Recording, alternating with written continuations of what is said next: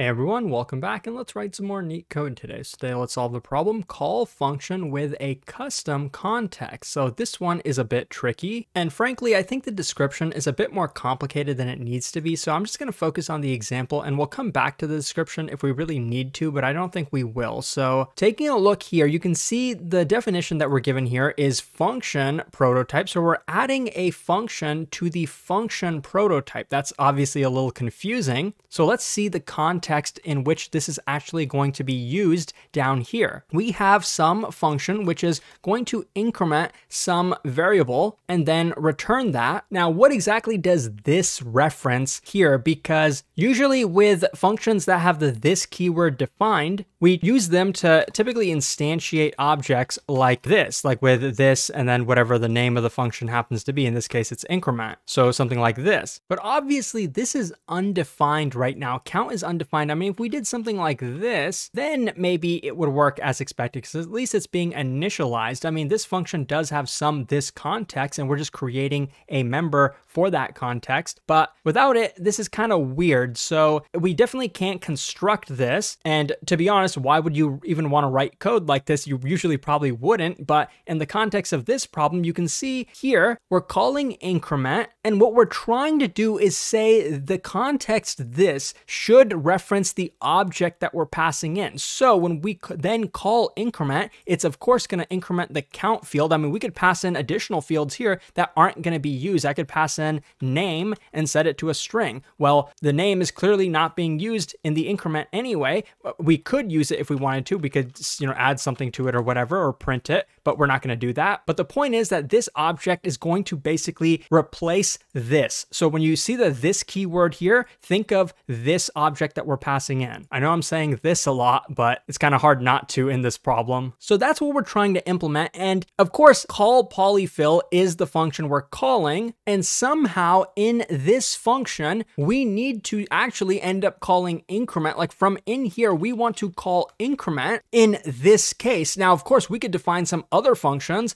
like decrement over here and I'm just gonna call it that or whatever. And then here we could replace this thing with decrement. And the point is that this call polyfill is being defined on the prototype because we should be able to call it from any function. Notice how the function isn't an object. From the function, it has a member variable, which technically doesn't belong to this guy. It belongs to the prototype chain. And that's where the call polyfill is going to be invoked. So it's not like in here, we can just say increment. We can't just say decrement either. We have to know somehow that we're trying to call the one that's referenced, and that can be done with the this keyword, just like kind of we've seen in previous problems. So in this case, if I were to say this and then call this with some arguments, this here is invoking increment or decrement, depending on which call polyfill this was invoked from. But that's not enough. We're not just calling the function, we also need to apply this context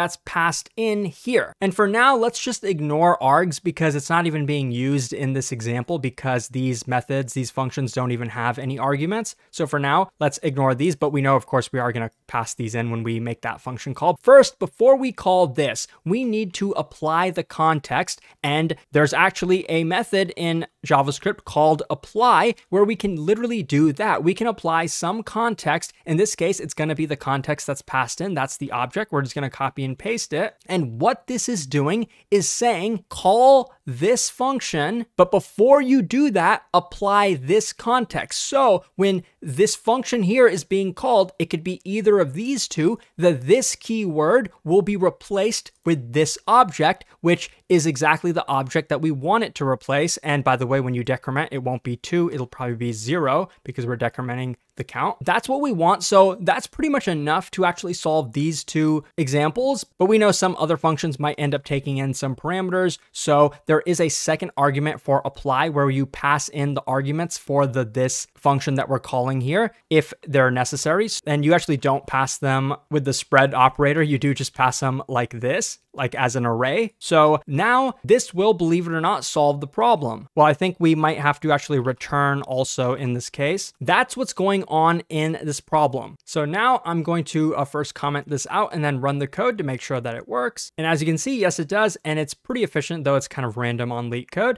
Now, I will say that there's one other way to solve it with binding. When you apply the context, this context is only applied for this like invocation, just a single invocation. But there's another way to apply context with the bind method. So it's similar. We say this dot bind this context, and then this returns that same function with the context binded, and then you can call it like this. And don't ask me why in this case you need the spread operator and in this case you don't. I guess this time it's actually being invoked. Like when we call this, it's literally invoking the method, whereas apply, we're just passing in arguments and then under the hood, apply is invoking the methods. So that's probably the reasoning. But you'll see that this works similarly. I prefer apply because it kind of makes it straightforward that we're just using this for a single invocation. And that's what we would want because remember, this function is going to be called possibly from multiple functions, but I guess I'll run this code and show you that it's going to perform pretty similarly. Yep, there it is. Now, if you're still wondering what's going on here, what the hell is going on? Let me just dig a tiny bit deeper and show you. And let's use class syntax because if JavaScript is confusing for you, you probably are more familiar with this type of syntax, but it's a very simple example. We have a class where by default the name will be set to yeet and then we can log that. And I'll show you very simply. We construct a person and then we print their name name and we get yeet as you would expect. But now I'm going to create a wrapper function for print name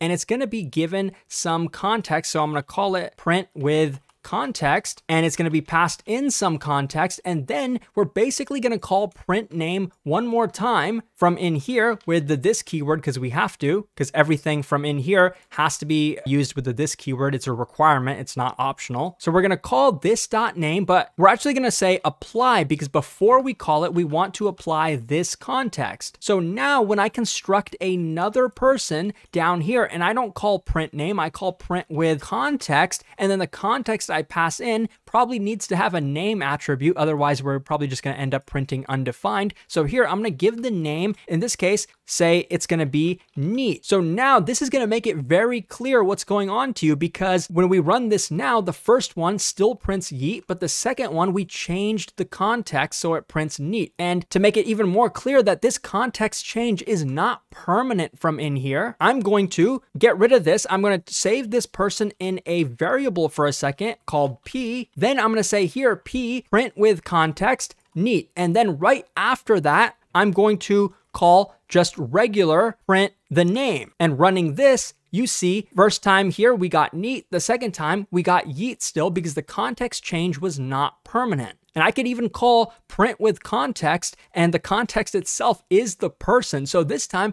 it would literally be as if the context we passed in was still the same this keyword. So it's going to print yeet three times in a row, as you see here. So I hope that makes it crystal clear for you what exactly is going on, because JavaScript is pretty crazy. If you found this helpful, please like and subscribe. If you're preparing for coding interviews, check out neetcode.io. Thanks for watching, and I'll see you soon.